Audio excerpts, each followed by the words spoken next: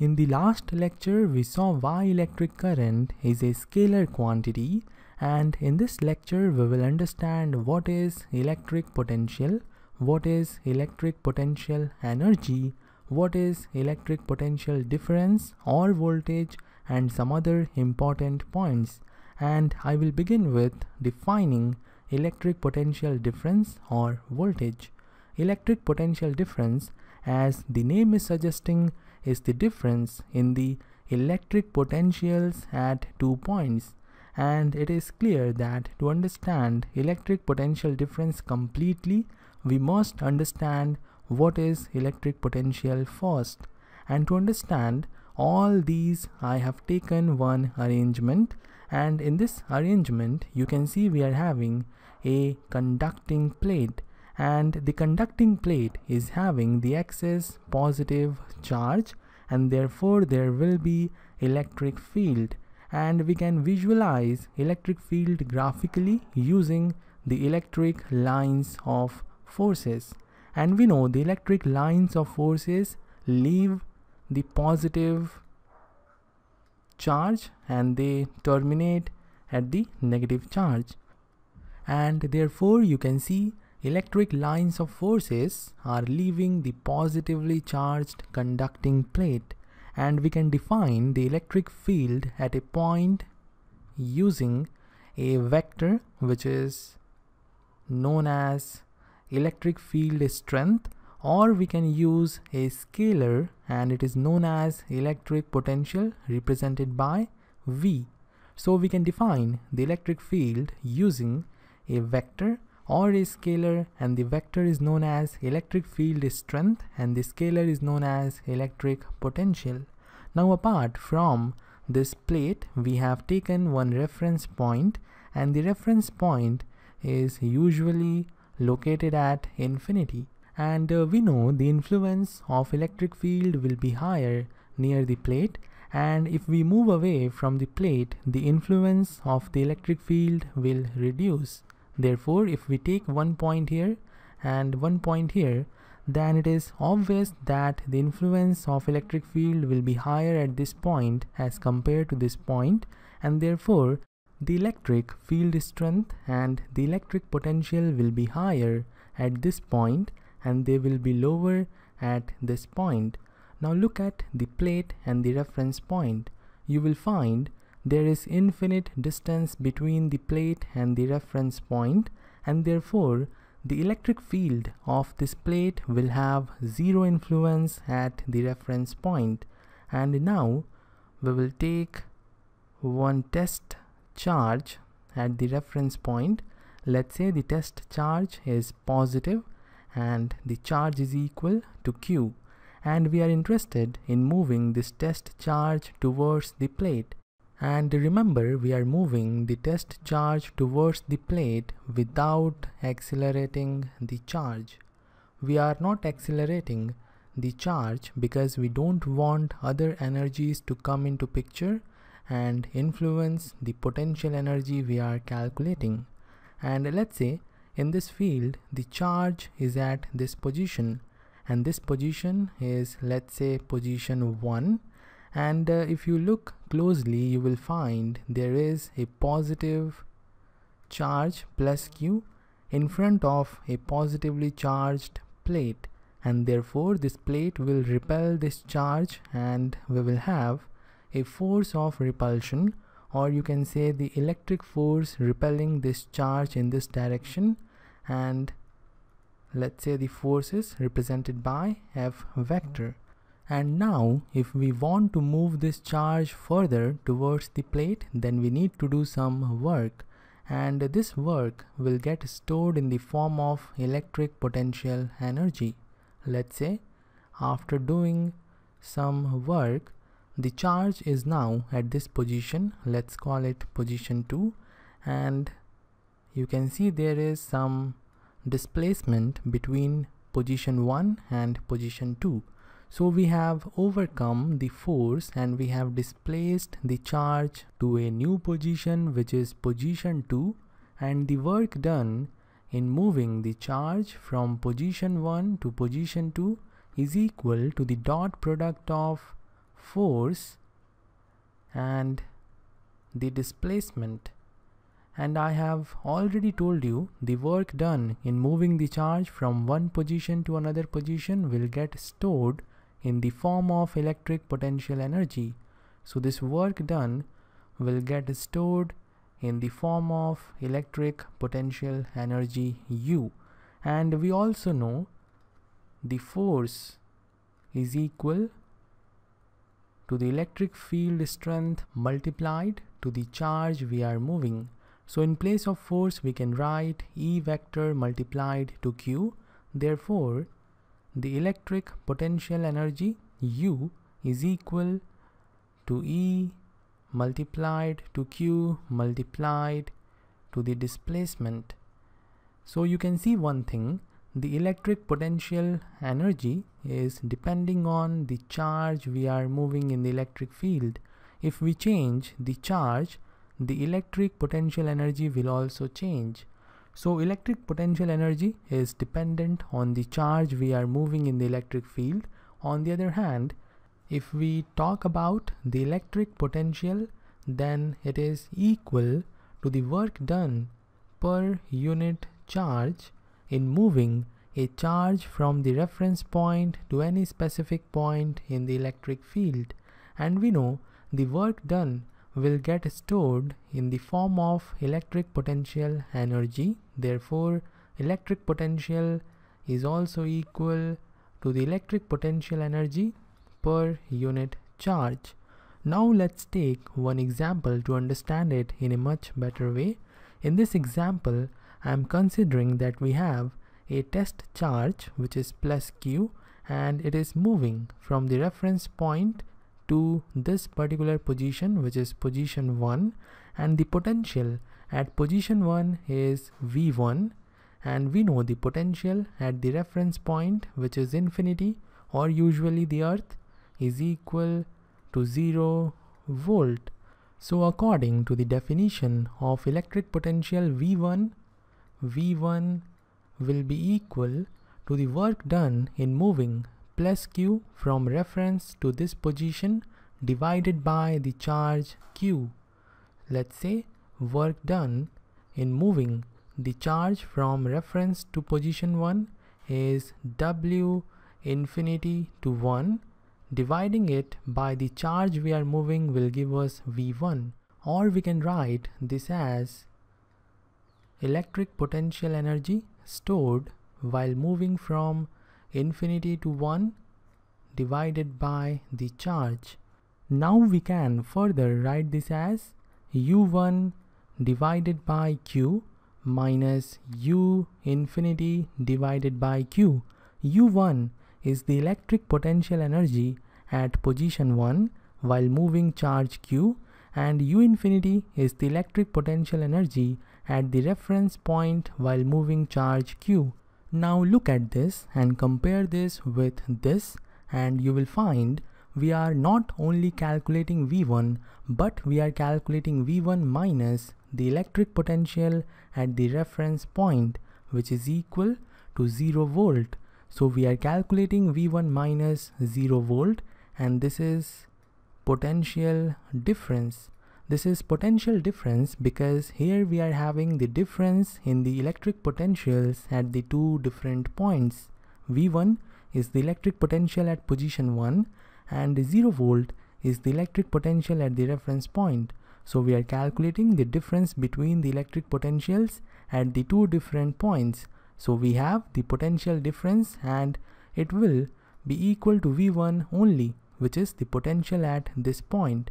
So remember this important concept that whenever the potential at the point is given in the electric field, then it is calculated with respect to the reference point. For example, let's say V2 is the electric potential at position 2, then V2 is calculated with respect to the reference point. Similarly, let's say this point is having the electric potential V3 then it is also calculated with respect to the reference point. And now let's understand why electric potential is the function of position.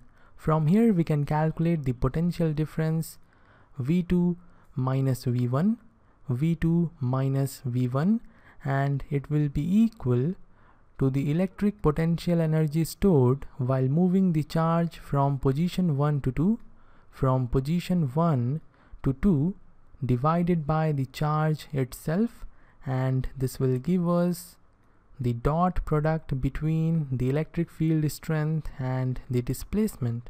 So you can see that V2 minus V1 is independent of the charge we are moving from position 1 to position 2. Therefore, the electric potential is independent of the charge you are moving. It is only dependent on the position. Each and every point in the electric field will have some potential and it will not depend on the charge you are placing at that particular position. But the electric potential energy will depend on the charge. For example, if you place one charge here and this charge is equal to 2 coulomb then the electric potential energy at this position will be equal to 2 coulomb multiplied to the potential V3 this will be the electric potential energy. On the other hand the electric potential will only depend on the position. It will not depend on the charge you are placing at that particular position. This is very important point we will move on to the next point and the next point is related to shifting of the reference point. If we shift or change the reference point, then the potential difference will not change. For example, let's say the reference point is now shifted to this position. With respect to this position, the potential at this position will change. Let's say it is V1 dash. Similarly, potential will change here as well, V2 dash then the potential difference V2 dash minus V1 dash will remain same as V2 minus V1 V2 minus V1 this is the potential difference. So potential difference will never change if you change the reference point. This is one very important point. And now I will give you the units of electric potential and electric potential energy. Electric potential energy is having the SI unit as joule and we know electric potential is equal to electric potential energy divided by charge. Therefore the unit of electric potential is equal to joule per coulomb and unit of electric potential difference will be same as the electric potential joule per coulomb or joule coulomb inverse. Or we can use the unit volts for electric potential difference or voltage. This unit is named after the Italian physicist Alessandro Volta and this is all for electric potential difference, electric potential and electric potential energy. Now we will move on to the next part of the lecture. Battery is also known as the voltage source. This is known as voltage source because there is potential difference. There is potential difference between the positive terminal and the negative terminal. Let's say the potential difference is 5 volts in this battery. This means the potential at the positive terminal minus the potential at the negative terminal is equal to 5 volts.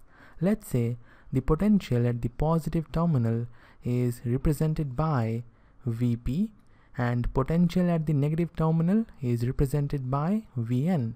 Then Vp minus Vn is equal to 5 volts and in a battery the positive terminal is at the higher potential and the negative terminal is at the lower potential.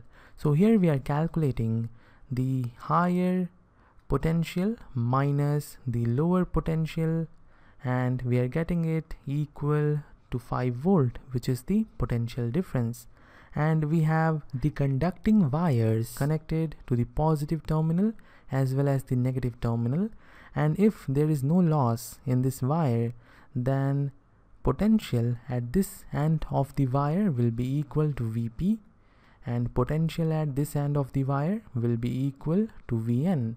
And we can represent the battery like this as well the longer line is representing the positive terminal and the shorter line is representing the negative terminal.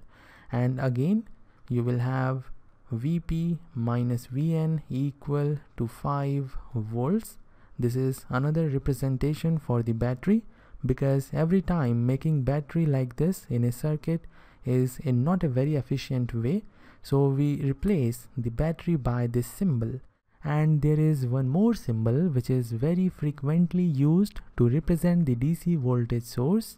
In this symbol we are having a circle and then we have positive and negative signs. Positive sign means this terminal is at the high potential and negative sign means this terminal is at the low potential.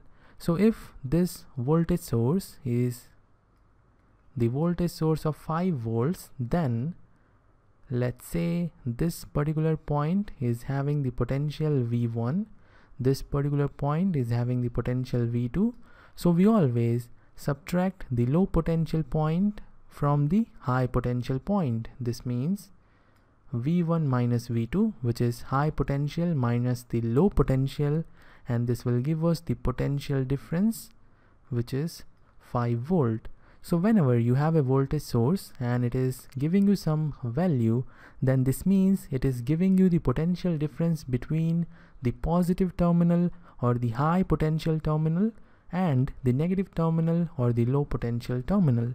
Now you don't have to worry about this high and low every time. I will tell you one easy way to find out the potential difference. You simply have to start from one point. Let's say you start from V1. So write V1 first and then move further and you will encounter with a potential difference which is equal to 5 volt. So write 5 and the sign you will have between V1 and 5 will depend on the next to next terminal. The next terminal after moving from V1 is the positive terminal but we have to focus on next to next terminal which is negative terminal. So sign will be negative and then you simply equate the last potential point with this. So this is what you will get. Now rearranging this you will get V1 minus V2 equal to 5 volt which is same as this one or you can start from V2 so let's start from V2 then moving further we can see that there is a potential difference of 5 volts. So I will write 5 here.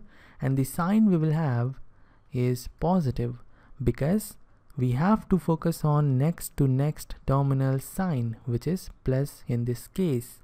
So we have V2 plus 5 and finally we will equate it with the last or you can say the final points potential which is V1 and rearranging this we will have V1 minus V2 equal to 5 volts which is same as this one.